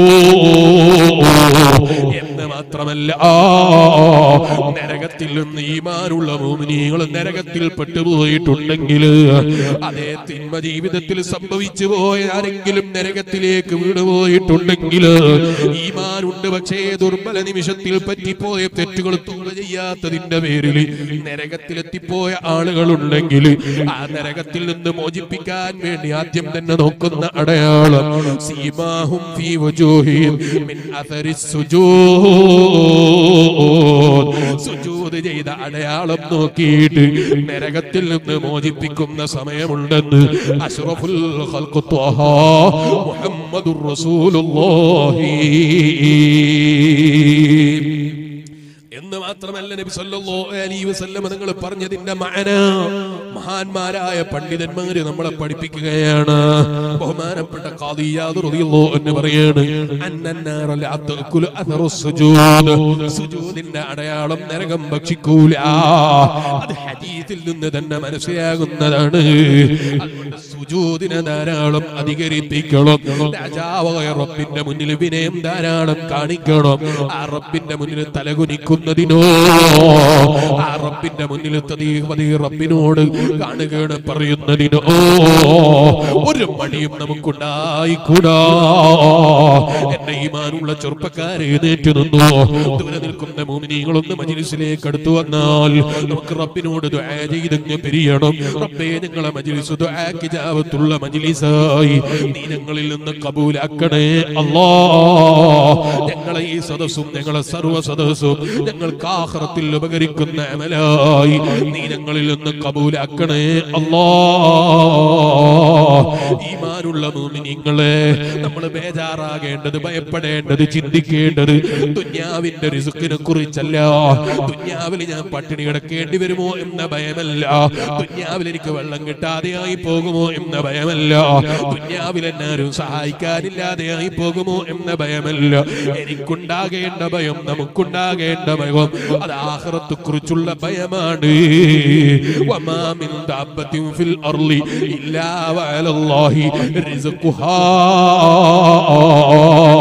മനുഷ്യന്റെ ഭക്ഷണത്തിന്റെ കാര്യം റബ്ബേറ്റെടുത്തതാണ് അള്ളാഹുവിനെ സുജൂദ് ചെയ്ത് റബ്ബിന്റെ പ്രീതി പ്രതീക്ഷിച്ചങ്ങ് ജീവിച്ചാൽ ആവശ്യമുള്ളത് ആവശ്യമുള്ള സമയത്ത് റബ്ബ് തരുമെന്ന കാര്യത്തിൽ സംശയം വേണ്ട മുസ്ലിമേ. എന്റെ ഈ മജിലിസിൽ ഒരുമിച്ച് കൂടിയ എഴുപത് വയസ്സ് പ്രായമുള്ള ഉപ്പാപ്പമാരില്ലേ? അറുപത് വയസ്സുള്ള ഉപ്പാപ്പമാരില്ലേ? അൻപത് വയസ്സുള്ള ഉപ്പാപ്പമാരില്ലേ? അതുപോലെ പ്രായം ചെന്ന ഉപ്പമാരില്ലേ? ചോദിക്കട്ടെ ഉപ്പാപ്പമാരെ നിങ്ങളെ കഴിവ് കൊണ്ടാണോ ഇതുവരെ നിങ്ങൾ ജീവിച്ചത്? നിങ്ങളെ കഴിവ് കൊണ്ടാണോ ഇതുവരെ നമ്മൾ ജീവിച്ചത്? എന്നെ പോലെ ചെറുപ്പക്കാര് ചെറിയ ചെറുപ്പക്കാരും എന്റെ മജിലിസിലില്ലേ? ചോദിക്കട്ടെ ഇതുവരെ എന്റെ കഴിവ് കൊണ്ടാണോ ഞാൻ ജീവിച്ചത്? എന്റെ കഴിവ് കൊണ്ടാണോ എനിക്ക് റിസ്ക് കിട്ടിയത്? എന്റെ കഴിവ് കൊണ്ടാണോ എനിക്ക് വെള്ളം കിട്ടിയത്? ഒരിക്കലുമല്ല. ഇതുവരെ ജീവിച്ചത് എന്റെ കഴിവ് കൊണ്ടല്ല എന്റെ കൂടെ പഠിച്ചിരുന്ന പലരും ഇന്ന് കബറിലുണ്ട് എന്റെ കൂടെ പഠിച്ച് ഒന്നിച്ച് കളിച്ചിരുന്നവര് പലരും ഇന്ന് കബറിലുണ്ട് ആരും അവരെ ഇഷ്ടത്തിന് പോയതല്ല. അവർ തീരുമാനിച്ച് പോയതല്ല. മറിച്ച് അവരെ അവരെ റബ്ബങ്ങ് തിരിച്ചു വിളിച്ചപ്പോൾ പോകലല്ലാതെ പിന്നെ നിർവാഹമില്ല. പോകലല്ലാതെ പിന്നെ മുന്നിലൊരു മാർഗമില്ല. അല്പം സാമ്പത്തികമായി പുരോഗതി വരുമ്പോ അതുവരെ തന്ന ഉസ്താദുമാരോടൊക്കെ ദ്വയ ചെയ്യണമെന്ന് പറഞ്ഞ്. സ്ഥാപനങ്ങളിലൊക്കെ നേർച്ചയാക്കിയിട്ട് കച്ചവടം തുടങ്ങിയിട്ട് കച്ചവടം അങ്ങ് പുരോഗമിച്ചപ്പോ പിന്നെ ഉസ്താദ്മാര് വേണ്ട അതിന്റെ മജിലിസ് വേണ്ട. ഞാൻ അത്യാവശ്യം പണക്കാരനായി പോയി. ഇനി വയലിന്റെ സദസ്സിൽ ഇരിക്കേണ്ടതില്ല. ഇത്തരം അഹങ്കാരത്തിന്റെ ചിന്തയൊന്നും നമ്മളെ പിടികൂടരുത് കേട്ടോ. അത് കാറൂനിന്റെ സ്വഭാവമാണ്. അവനിക്ക് പണം കിട്ടിയപ്പോൾ അവൻ അള്ളാനെ മറന്നുപോയി. നല്ല സാമ്പത്തിക ശേഷിയോടുകൂടെ ജീവിക്കാൻ അള്ള അവസരം തന്നു. പെട്ടെന്നൊരു പരീക്ഷണമാണ്. പാർട്ട്ണറുമായി തെറ്റിപ്പോയി. പാർട്ട്ണർ അങ്ങ് പിരിച്ചു വിട്ടു പൈസ തന്നെ പിരിച്ചു വിട്ടു പെട്ടെന്ന് സാമ്പത്തിക നിലയങ്ങ് തകർന്നു പോയി. വല്ലാത്ത വിഷമമുള്ള സമയം. എന്റെ ഈമാനുള്ള മോമിനികളെ വിഷമിക്കരുത്. അതുവരെ തന്ന രാജാവായ റബ്ബ് തരുമെന്ന വിശ്വാസം വേണം. അതുവരെ തന്ന രാജാവായ റബ്ബ് എനിക്ക് ഇനിയും തരുമെന്ന വിശ്വാസം വേണം. ആ റബ്ബിലേക്ക് മനസ്സ് തിരിച്ച് റബ്ബിന്റെ പൊരുത്തം പ്രതീക്ഷിച്ച് ജീവിച്ചോ. ഇതുവരെ തന്ന റബ്ബിന്റെ ഖജനാവ് പൂട്ടിയിട്ടില്ല. ഇതുവരെ തന്ന രാജാവ് റബ്ബിന്റെ ഖജനാവിൽ തീർന്നു പോയിട്ടില്ല. ഒരു വിഷമവും അവന്റെ ഖജനാവിന് വന്നിട്ടില്ല. എപ്പോഴും എത്രയും തരാൻ കഴിയുന്ന റബ്ബാണവൽ. നിങ്ങൾ നോക്കൂ നബിഹി അയ്യൂബ് അലൈഹിസ്സലാം നല്ല സാമ്പത്തിക ഭദ്രതയിലേക്ക് എത്തിച്ചേർന്നു. അയ്യൂബ് നബി അലൈഹിസ്സലാം എന്തൊരു നന്ദിയാണ്. ജനങ്ങൾക്ക് സ്വതക്ക ചെയ്യാണ്. ജോലിയില്ലാത്തവർക്ക് ജോലി കൊടുക്കുകയാണ്. അയ്യൂബ് നബി അലൈഹിസ്സലാം നല്ല വാഴിലാണ്. ജനങ്ങളെ ഇസ്ലാമിലേക്ക് വിളിക്കുന്നയാളാണ്. അയ്യൂബ് നബി അലൈഹിസ്സലാം അതിൽ നിന്ന് മാറി നിന്നില്ല. നല്ല സാമ്പത്തിക ഭദ്രത ലഭിച്ചു. ആളുകളെ ആദരിക്കുന്ന ആളുകളൊക്കെ ബഹുമാനിക്കുന്നു അയ്യൂബ് നബി അലൈഹി ഇസ്ലാമിന്റെ ജീവിതത്തിൽ മാറ്റമില്ല. അതേ അയ്യൂബ് നബി അലൈഹി ഇസ്ലാമിന് തന്നെ സാമ്പത്തിക ഭദ്രത കൊടുത്ത റബ്ബ് തന്നെ ചെറിയൊരു പ്രയാസം അങ്ങ് കൊടുത്തു. സാമ്പത്തിക നിലയങ്ങ് തകർന്നു പോയി. എന്തിനാ ഖുർആൻ ഇത് നമ്മളെ പഠിപ്പിച്ചത്? വിഷമം വരുമ്പോഴും നമ്മൾ അള്ളാനെ മറക്കാൻ പാടില്ല. പ്രയാസം വരുമ്പോഴും അള്ളാനെ മറന്നുപോകാൻ പാടില്ല. അതുവരെ തന്ന രാജാവായ റബ്ബിനോട് നന്ദികേടുള്ള വർത്തമാനങ്ങൾ സംസാരങ്ങൾ പറയുന്നവരാകാൻ പാടില്ല. അയ്യൂബ് അലൈഹിസ്സലാമിന് വല്ലാത്ത പ്രയാസം പിടികൂടി രോഗം കൊണ്ട് പിടികൂടി കൊണ്ട് പിടികൂടി സാമ്പത്തിക പ്രയാസം കൊണ്ട് പിടികൂടി വല്ലാത്ത വിഷമത്തിലെത്തിയ സമയവും ആ സമയത്തും അയ്യൂബ് നബി അലൈഹി സ്വലാമിന്റെ വാക്ക് കണ്ടില്ലേ നിങ്ങൾ റബ്ബി നീ നുറു അർഹമുർ എനിക്ക് ചെറിയൊരു പ്രയാസമുണ്ട് റബ്ബേ. മാറ്റി തരണമെന്ന് അയ്യൂബ് നബി അലൈഹിസ്സലാം പറഞ്ഞില്ല. എന്നെ നീ പ്രയാസത്തിൽ കുടുക്കിയല്ല എന്ന് പറഞ്ഞില്ല. ഇതെന്തൊരു പ്രയാസമാണ് നീ തന്നത് എന്ന് ചോദിച്ചില്ല. നീ മസ്സനിയദ്ദുറു എന്തൊരു നല്ല പ്രയോഗമാണ്. എന്തൊരു നല്ല താഴ്മയുള്ള വാക്കാണ്. എന്നെ ചെറിയ പ്രയാസം പിടികൂടിയിട്ടുണ്ട്. ചെറിയൊരു പ്രയാസം എന്നെ തലയോടിയിട്ടുണ്ട്. നീ വല്ലാത്ത കാരുണ്യമുള്ള റബ്ബല്ലേ? നിന്റെ കാരുണ്യം വല്ലാത്ത വിശാലതയല്ലേ? ഈമാനുള്ള മൂമിനിങ്ങളെ എന്തൊരു നല്ല മനസ്സാണ്. ആ റബ്ബാണ് കൊടുക്കുന്നവനെന്ന് വിശ്വസിച്ച് ആ റബ്ബാണ് തടയുന്നവനെന്ന് വിശ്വസിച്ച് ഇതുവരെ കിട്ടിയതിൽ തൃപ്തിയടങ്ങി. ആ റബ്ബിനിയും ആവശ്യമുള്ളതൊക്കെ എനിക്ക് തരുമെന്ന വിശ്വാസത്തോടെ ജീവിച്ചോ? അത്തരം ആളുകൾക്ക് ഇമാം ഗസാലി റതിയുള്ളോ എന്ന് പറയുന്നു ഹുസ്നുൽ ആഖിബത്തുണ്ട് ഒരു മനുഷ്യന്റെ ജീവിതത്തിൽ കിട്ടേണ്ട ഏറ്റവും വലിയ വിജയവും അത് തന്നെയല്ലേ? മരിക്കുന്ന സമയത്ത് ഈമാനോടെ മരിക്കളും. മരിക്കുന്ന സമയത്ത് റബ്ബിന്റെ പ്രീതി കിട്ടിയൊന്ന് മരിക്കളും. റബ്ബിന്റെ സന്തോഷം കിട്ടിയൊന്ന് മരിക്കളും. അള്ളാഹുവിന്റെ പ്രീതിയിലായി ജീവിച്ചൊന്ന് മരിക്കളും. നീ ഞങ്ങൾക്ക് തൗഫീക്ക് തരണേ അള്ളാ. ഞങ്ങളെ ഭാര്യ മക്കളും ഉമ്മ ബാപ്പമാര് സ്നേഹിക്കുന്നവര് സർവർക്കും നീ ഭാഗ്യം തരണേ അല്ലാ ഒരു മുഅ്മിനായ മനുഷ്യനെ സംബന്ധിച്ചിടത്തോളം അവന് കിട്ടുന്ന ഏറ്റവും വലിയ സൗഭാഗ്യമല്ലേ? ഈമാനോട് കൂടെയുള്ള മരണവും എന്നാ എന്റെ ഈമാനുള്ള മുഅ്മിനീങ്ങളെ മനുഷ്യൻ പലപ്പോഴും ദുന്യാവിന്റെ ഓട്ടത്തിൽ ആഹ്റം മറന്നു പോകുന്നു.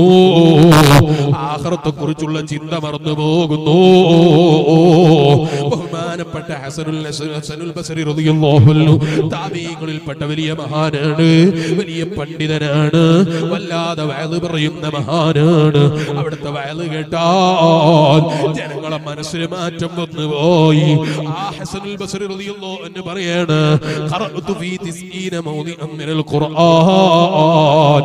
അന്ന അല്ലാഹ ഖദ്ദറൽ അർസാഖ വമിനഹാ ലിഖൽഖിഹി തൊണ്ണൂറോളം സ്ഥലങ്ങളിൽ അല്ലാഹു തആല മനുഷ്യന് അതേ ഭക്ഷണവും അവന് ആവശ്യമായ റിസുക്കും കണക്കാക്കിയതൊക്കെയും അവന്റെ കയ്യിൽ എത്തിക്കാതിരിക്കില്ലെന്ന് സൂചിപ്പിക്കുന്ന ആയത്തുകൾ ഞാൻ ഖുർആനിൽ ഓതിയിട്ടുണ്ട്.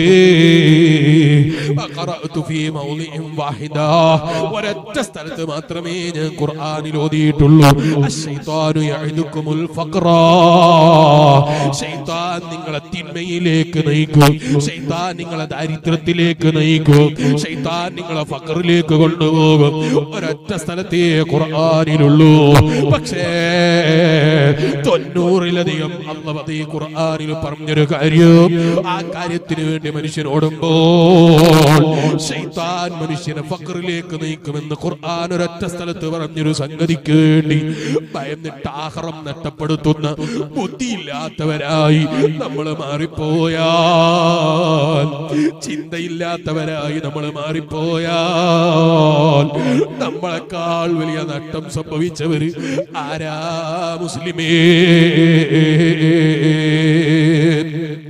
അതാണ് ഇമാം ഗസാലി അൻഹു പറഞ്ഞത്. ഹൃദയമാകുന്ന പാത്രത്തിൽ ദുനിയാവിന്റെ ചിന്ത കൊണ്ട് നീ അങ്ങ് നിറച്ചു കഴിഞ്ഞാൽ പിന്നെ നിന്റെ മനസ്സിൽ ആഹ്റത്തെ കുറിച്ചുള്ള ചിന്ത കയറൂല പാരത്രിക ലോകത്തെ കുറിച്ചുള്ള ആലോചന കയറൂല മടക്കയാത്രയെ കുറിച്ചുള്ള ചിന്തയുണ്ടാകൂല. അതുകൊണ്ട് നീ നിന്റെ ശഹവത്തിനെ കില്ലത്തിലേക്ക് നയിക്കുള്ളൂ നിന്റെ മനസ്സിനെ കില്ലത്ത് ശഹവത്തിലേക്ക് കൊണ്ടുവരുള്ളൂ.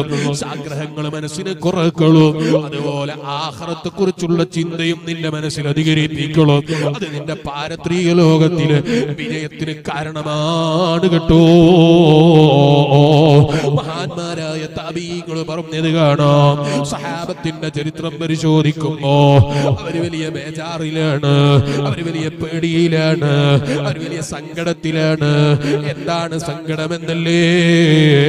അവരാഹ്റത്തിലേക്ക് മടങ്ങുന്ന രംഗത്തെ കുറിച്ച് ആലോചിക്കുമ്പോ ഒരു പാരത്രിക ലോകത്തേക്ക് മടങ്ങുന്നതിനെ കുറിച്ച് ചിന്തിക്കുമ്പോൾ റബ്ബേ മോശമായി പോകുമോ? ഈ വലിയ ബേജാറിലാണ് സഹാബത്തിന്റെ ജീവിതം കേട്ടോ? അതുകൊണ്ട് മാത്രം അവർ നിർത്തിയില്ല. ഇമാം ഗസാലി റളിയല്ലാഹു അൻഹു പറഞ്ഞില്ലേ ആക്തിവത്ത് നന്നാകാൻ ഏറ്റവും നല്ലൊരു വഴിയാണ് അള്ളാനെ കുറിച്ച് നല്ലത് കരുതിക്കോ?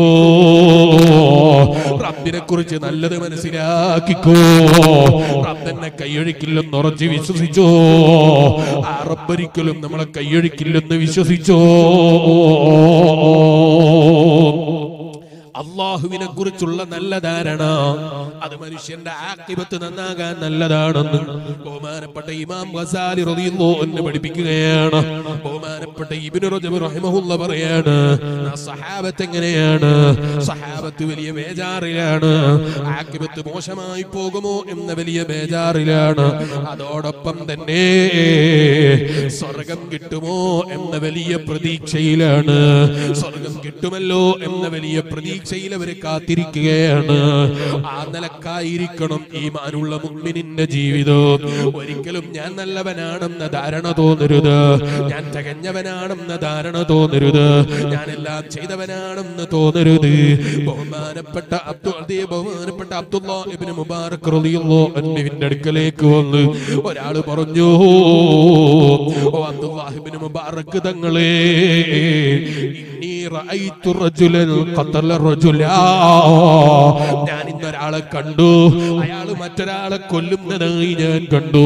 ഞാൻ വിശ്വസിക്കുന്ന അബ്ദുല്ലാഹിബിന് മുബാറക് തങ്ങളെ. അയാളെക്കാൾ എത്രയോ നല്ലവനാണ് ഞാൻ. ഞാൻ ആരെയും കൊന്നിട്ടില്ലല്ലോ. ആരെയും ആവശ്യമില്ലാതെ കൊല നടത്തിയിട്ടില്ലല്ലോ. അവനേക്കാൾ നല്ലവനാണ് ഞാനെന്ന് ചിന്തിക്കുന്നു അബ്ദുല്ലാഹിബിന് മുബാറക് തങ്ങളെ.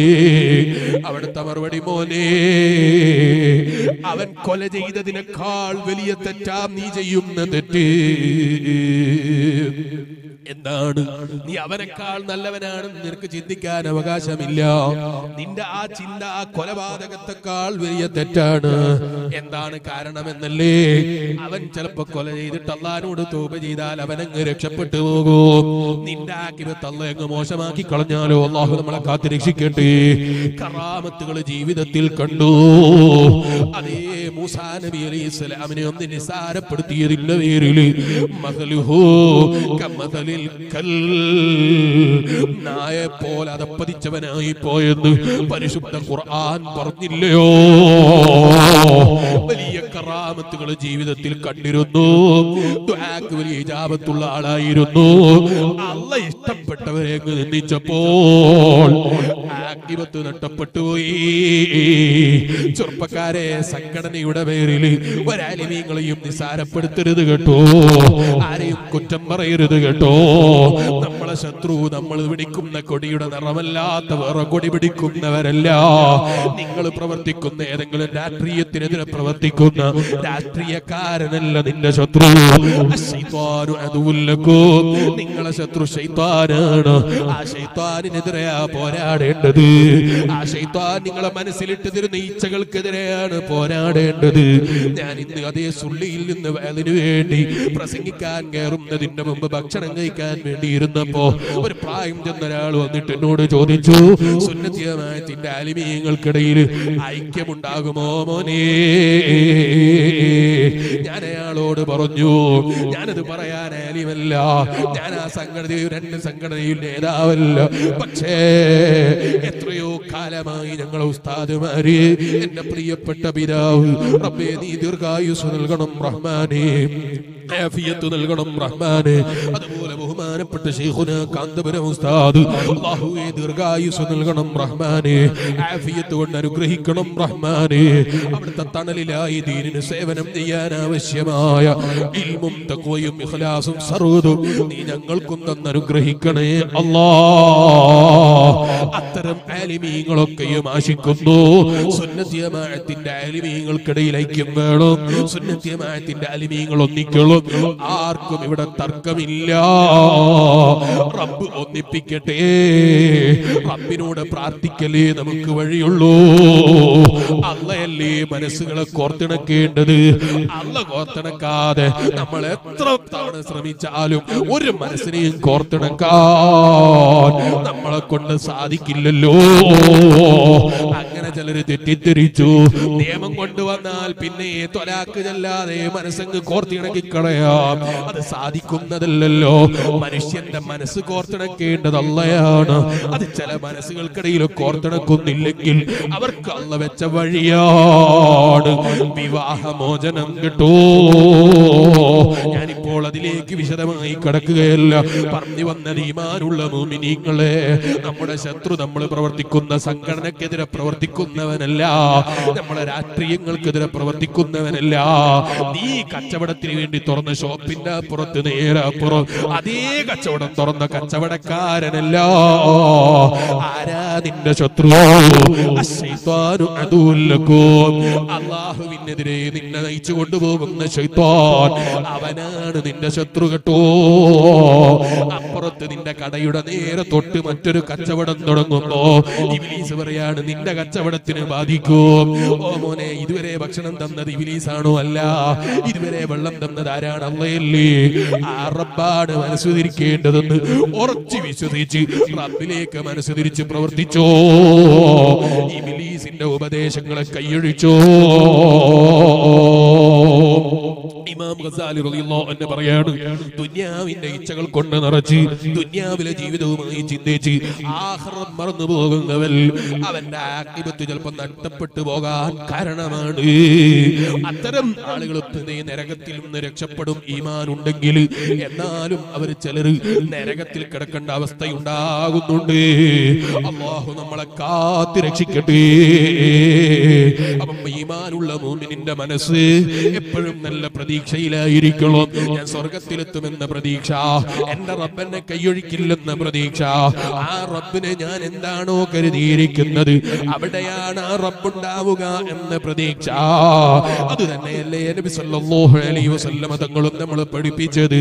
അന ഇന്ദല്ലി അബ്ദി ബി ഇൻ ഖൈറാ വ അടിമ എന്നെ കുറിച്ച് നല്ലതാണോ കരുതിയത് ഹൈറാണോ കരുതിയത്? അവനിക്ക് ഞാൻ ഹൈറാണ്.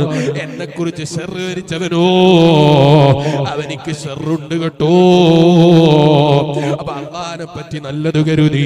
അല്ല എനിക്ക് നല്ലത് ചെയ്യുമെന്ന പ്രതീക്ഷയോടെ സ്വർഗം പ്രതീക്ഷിച്ച് സ്വർഗത്തിന് വേണ്ടി അധ്വാനിക്കുന്ന നല്ല ഭൂമിനീങ്ങളെ കൂട്ടത്തിൽ അള്ളാഹു നമ്മളെയും ഉൾപ്പെടുത്തി അനുഗ്രഹിക്കട്ടെ. റബ്ബേ ഞങ്ങൾ നിന്റെ പതികളായ അടിമകളാണ്. ഞങ്ങളെ ജീവിതത്തിൽ അറിഞ്ഞോ അറിയാതെയോ രഹസ്യമായോ പരസ്യമായോ എന്ത് തെറ്റ് സംഭവിച്ചു പോയെങ്കിലും നീ ഞങ്ങൾക്ക് മാപ്പ് തരണേ അല്ലാ. ഒരൊറ്റ ചരിത്രം നിങ്ങളെ ശ്രദ്ധയിൽപ്പെടുത്തി ഞാൻ എന്റെ പ്രസംഗം അങ്ങ് നിർത്തുന്നു. കേട്ടിട്ടില്ലേ? നിങ്ങൾ ഈ കിരിമത്തുബിൻ ജഹൽ റളിയല്ലാഹു റളിയല്ലാഹു എന്ന് വേണ്ടിയല്ല. എന്ന് നമ്മൾ പറയുന്നു. എന്നാൽ ഇക്രിമ റളിയല്ലാഹു ആരാണ്? അബൂജഹലിന്റെ മകനാണ്. എന്റെ ഈമാനുള്ള മുഅ്മിനീങ്ങളെ ഖുർആൻ അങ്ങ് കയ്യിൽ പിടിക്കുമ്പോൾ ഖുർആനിന്റെ കോപ്പികൾ അൻഹു ബോധരഹിതനായി വീണുപോയി. ബോധം തെളിഞ്ഞിട്ട് കാരണം ചോദിക്കുമ്പോൾ അവിടുന്ന് പറയുന്നത് അതാ കലാമു റബ്ബി. ഇതെന്റെ റബ്ബിന്റെ കലാമാണല്ലോ. ഇത് ഏതെങ്കിലും ആളുകളെ വാക്കല്ല. ഏതെങ്കിലും ആളുകളെ സംസാരമല്ല എന്നെ സൃഷ്ടിച്ച് പരിപാലിക്കുന്ന ലോക സിദ്ധാവായ റബ്ബിന്റെ വാക്കാണല്ലോ അല്ലാ.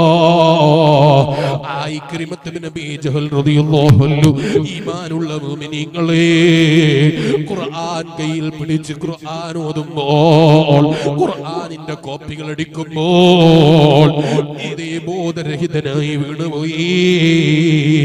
ഈമാനുള്ള മുഅ്മിനീങ്ങളെ ഖുർആനുമായി ഒരു അടുപ്പമുണ്ടാക്കണം ജീവിതത്തിൽ ചുരുങ്ങിയതൊരു പേജെങ്കിലും ഖുർആൻ ഓതാൻ ഇത് പറഞ്ഞതുകൊണ്ട് ഒരു പേജേ ഖുർആൻ എന്ന് ചിന്തിക്കരുത്.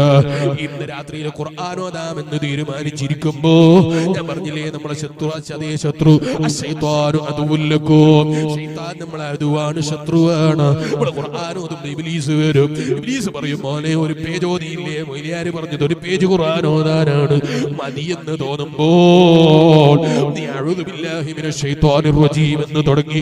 വീണ്ടും നീ ഖുർആൻ ഓതിക്കോ. ആ നിലയ്ക്ക് ബിലീസിനോട് സമരം ചെയ്ത് ഖുർആനോ തധികരിപ്പിച്ചോ സർവനന്മയ്ക്കും നിമിത്തമായ സർവനന്മയും കിട്ടാൻ കാരണക്കാരനായ എനിക്ക് കിട്ടാൻ പോകുന്ന ആഹ്റത്തിലെ സർവ നിമിത്തനേ നന്മകളുടെയും നിമിത്തമായ ലോകത്തിന്റെ മുഴുവനും ഗുരുവായ ലോകത്തിന്റെ മുഴുവനും നേതാവായ സയ്യിദുൽ വജൂദ് ഖാതിമുൽ അംബിയാ ഷഫീഉൽ മുദ്നിബീൻ അഷ്റഫുൽ ഖൽഖ് ത്വഹ മുഹമ്മദുർ റസൂലുള്ളാഹി സല്ലല്ലാഹു അലൈഹി ആ ഹബീബായ നബി സല്ലല്ലാഹു അലൈഹി തങ്ങളെ പേരിൽ സ്വലാത്ത് അധികരിപ്പിക്കണേ ഉമ്മമാരെ. പരമാവധി സ്വലാത്ത് ചൊല്ലണേ ഉമ്മമാരെ പങ്കന്മാരെ. എന്റെ ശബ്ദം ശ്രവിക്കുന്ന ചെറുപ്പക്കാരെ നടക്കുന്ന വഴിയിൽ ചൊല്ലാൻ കഴിയുന്ന സ്വലാത്ത് ചൊല്ലണം. ചുരുങ്ങിയതൊരു നൂറ് സ്വലാത്തെങ്കിലും ജീവിതത്തിൽ പതിവാക്കിക്കോ. ദിവസവും നൂറ് സ്വലാത്ത് ചൊല്ലുന്നൊരു ഭരണാധികാരി അതേ ഒരു ദിവസം സ്വലാത്തങ്ങ് ചൊല്ലാ കൊടുക്കാതെ വന്നപ്പോ ഹബീബായ നബി സല്ലല്ലാഹു അലൈഹി വസല്ലം തങ്ങൾ സ്വപ്നത്തിൽ വന്ന ആളെ വിട്ടില്ലേ? നൂറ് സലാത്ത് ചൊല്ലാത്തതിന് പകരം പാവങ്ങൾക്ക് ഹദിയ ചെയ്തോ? സദക്ക ചെയ്തോ? ഇന്നലെ തതയെ സാധാരണ ചൊല്ലുന്ന നൂറ് സലാത്ത് ചെല്ലാത്തതിന്റെ കഫാറായി നാനൂറ് ദിർഹം കൊടുക്കാൻ നബി സല്ലല്ലാഹു അലൈഹി വസല്ലം തങ്ങൾ സ്വപ്നത്തിൽ വന്ന് പറഞ്ഞ ചരിത്രം നിങ്ങൾ കേട്ടിട്ടില്ലേ? ഓ എന്റെ ഈമാനുള്ള മുഅ്മിനീങ്ങളെ നമ്മൾ ചൊല്ലുന്ന സ്വലാത്ത് നമ്മളെ ഹബീബിന്റെ ചാരത്തെത്തിച്ചേരും ആ നബിതങ്ങളുമായി ഒരു കണക്ഷൻ ഉണ്ടാക്കാനുള്ള വഴിയാണ്. ആ നബിതങ്ങളുമായുള്ള ഒരു ബന്ധമുണ്ടാക്കാനുള്ള വഴിയാണ്. ഞാൻ ചിന്തിക്കുന്നു ഉസ്താദുമായി എനിക്കൊരു ബന്ധം വേണോ? അതുപോലെ നമ്മൾ ചിന്തിക്കുന്നു നമ്മൾ അലിമീങ്ങളുമായി ഒരു ബന്ധം വേണോ? അവരെന്നെ അറിയുന്നു എന്ന് പറയും എനിക്ക് വലിയ അഭിമാനമാണ്. അവർക്ക് എന്നെ പരിചയമുണ്ട് എന്ന് പറയും എനിക്ക് വലിയ അഭിമാനമാണ്. എന്നാൽ ചോദിക്കട്ടെ. നമ്മളെ ഉസ്താദുമാരുടെ ഉസ്താദ് അവരെ ഉസ്താദ് എല്ലാറ്റിന്റെയും നേതാവ് പോരാ ലോകം തന്നെ പടക്കാൻ കാരണക്കാരനായ സയ്യിദുൽ വജൂദ് ഖാതിമുൽ അംബിയാ ഷഫീഉൽ മുദ്നിബീൻ അഷ്റഫുൽ ഖൽഖ് മുഹമ്മദുർ റസൂലുള്ളാഹി. ആയ നബിതങ്ങൾ എന്നെ അറിയുന്നു എന്ന് പറയുമ്പോ അതിനേക്കാൾ വലിയ പവർ എന്താ മുസ്ലിമേ? അതിനേക്കാൾ വലിയ ബഹുമാനം എന്താ മുസ്ലിമേ? ആ നബിതങ്ങൾ ഒരു തിരുനോട്ടം കിട്ടാൻ ആ നബിതങ്ങളെ മറക്കാതെ സ്വലാത്ത് ചൊല്ലിയിട്ട് ഓർമ്മിക്കണേ ഉമ്മമാരെ. പരമാവധി കഴിയുന്ന സ്വലാത്ത് ജീവിതത്തിൽ അധികരിപ്പിക്കണേ പങ്ങന്മാരെ. ജോലി കിട്ടാതെ പ്രയാസപ്പെടുന്നവർക്ക് ഉള്ള ജോലിയിൽ പറക്കത്ത് ലഭിക്കാന് വിഷമങ്ങൾ നീങ്ങി കിട്ടാന് കടം വീട് കിട്ടാന് ഏത് പ്രയാസങ്ങൾക്കും നമുക്ക് ഹബീബായ നബിതങ്ങളാകുന്ന റഹ്മത്താകുന്ന നബി. ആ നബിതങ്ങളെ മുറുകെ പിടിക്കൽ വലിയ വസീലയാണ് കേട്ടോ. അതുകൊണ്ട് സ്വലാത്തിന് അധികരിപ്പിച്ച് അവിടത്തോടൊരു ബന്ധമുണ്ടാക്കാൻ ഈ പാവപ്പെട്ട മുതാല്യമായ ഞാൻ ശ്രമിക്കണം. എന്റെ വയലുകൾക്കൊന്ന് നിങ്ങൾ ശ്രമിക്കണം. അള്ളാഹു നമുക്ക് തൗഫീക്ക് ചെയ്യട്ടെ. സഹാബത്തിന് നബിതങ്ങളെ കണ്ടിട്ട് കൊതിമാറാത്തതിന്റെ പേരിൽ സ്വർഗത്തിലും നബിതങ്ങളെ കൂടെ എത്തണമെന്ന് പറഞ്ഞ്. കരഞ്ഞ ചരിത്രം കേട്ടിട്ടില്ലേ? മുസ്ലിമേ ദുന്യാവിലെ അനുമിതങ്ങളെ കാണാൻ നമുക്ക് സാധിച്ചിട്ടില്ല. ആഹ്റത്തിലെ ആ നബിതങ്ങളെ കൂടെ ഒന്ന് സ്വർഗത്തിൽ ഒത്തുചേരണ്ടേ. അവിടുന്ന് ചവിട്ടുന്ന മണൽത്തരികൾക്കൊന്ന് ഹിദമത്ത് ചെയ്യാൻ കഴിയണ്ടേ. അവിടത്തോടൊരു കണക്ഷൻ ഉണ്ടാക്കിക്കോ.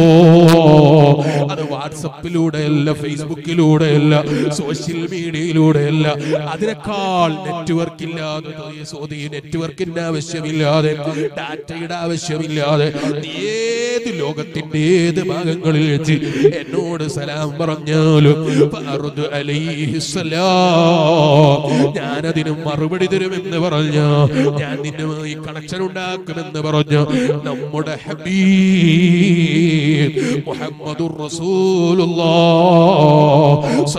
അലൈഹി വസല്ലം ഹബീബായ നബി തങ്ങളെ കാണാതെ നീ ഞങ്ങളെ മരിപ്പിക്കരുത് റഹ്മാനേ. അവിടത്തെ കാണാതെ നീ ഞങ്ങളെ തിരിച്ചു വിളിക്കരുത് റഹ്മാനെ. പലതവണ ജീവിതത്തിൽ സ്വപ്നം കാണാനുള്ള തൗഫീക്ക് തരണം റഹ്മാനെ. ആ ഹബീബായ നബിതങ്ങളോടൊപ്പം നിന്റെ റഹ്മത്ത് കൊണ്ട് ഞങ്ങളെ നീ ജന്നാത്തുന്നഈമിൽ ഒരുമിച്ച് കൂട്ടണേ. അല്ലാ. ആ നബിതങ്ങൾ സുജൂദിൽ കിടന്നപ്പോ ഒട്ടകത്തിന്റെ കൊടൽമാല കൊണ്ടുപോയി കഴുത്തിലിട്ട് കൊടുത്തു. നബിതങ്ങൾ പിന്മാറിയില്ല. ആ നബിതങ്ങൾ സുജൂത് അധികരിപ്പിക്കുകയാ ചെയ്തത്. നബിതങ്ങളെ ഹക്ക് കൊണ്ട് ഞങ്ങൾക്കും ധാരാളം സുജൂദ് അധികരിപ്പിക്കാനുള്ള തൗഫീഖ് നിയത്തിത്തരണേ അല്ലാ. നിന്റെ പൊരുത്തം ലഭിക്കുന്ന സ്വാലിഹീങ്ങളിൽ നിന്റെ റഹ്മത്ത് കൊണ്ട് ഞങ്ങളെയും നീ പെടുത്തണേ അല്ലാ. നിന്റെ കാരുണ്യം ലഭിക്കുന്ന സ്വാലിഹീങ്ങളിൽ നീ ഞങ്ങളെ പെടുത്തണേ അല്ലാ. ഞങ്ങളെ ഈ സദസ്സും ഞങ്ങളെ സർവ സദസ്സും ഞങ്ങൾക്ക് ആഹ്റത്തിൽ ഉപകരിക്കുന്ന അമലുകളായി നീ കബൂലാക്കണേ അല്ലാ എല്ലാത്തിലും ഉപരി അവസാനം കാബിലായിമാനോട് എന്ന ദിക്റ് ചൊല്ലി ഒരു നല്ല മരണം ഞങ്ങൾ കോശാരം തരണേ അല്ലോ ഞങ്ങളെ ഉമ്മ ബാപ്പമാർ കോശാരം നൽകണേ അല്ലോ ഭാര്യ മക്കൾക്ക് കുടുംബങ്ങൾക്ക് സ്നേഹിക്കുന്നവർക്ക് ഞങ്ങളെ വയതിന്റെ മജിലിസിൽ സ്നേഹത്തോടെ ഒരുമിച്ച് കൂടുന്ന മോമിനികളും മോമിനാത്തുകൾക്ക് നീ ഓശാരം തരണേ അല്ലോ ربنا ظلمنا أنفسنا وإن لم تغفر لنا وترحمنا لنكونن من الخاسرين. ربنا تقبل منا إنك أنت السميع العليم. وتب علينا إنك أنت التواب الرحيم. واغفر لنا يا غافر المذنبين. آمين آمين.